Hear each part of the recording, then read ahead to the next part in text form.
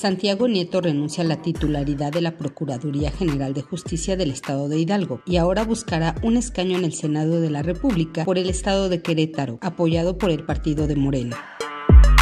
Los pilotos del avión Japan Airlines, que transportaban 379 pasajeros y tripulantes, aseguran que no vieron el avión con el cual colisionaron en el aeropuerto de Haneda de Tokio, mientras que los seis ocupantes del otro avión murieron casi en el acto.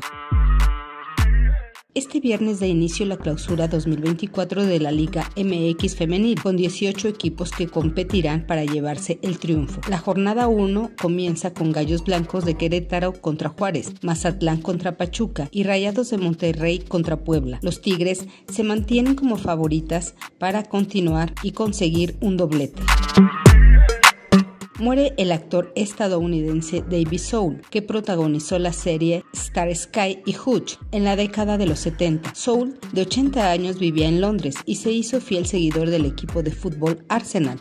Descanse en paz.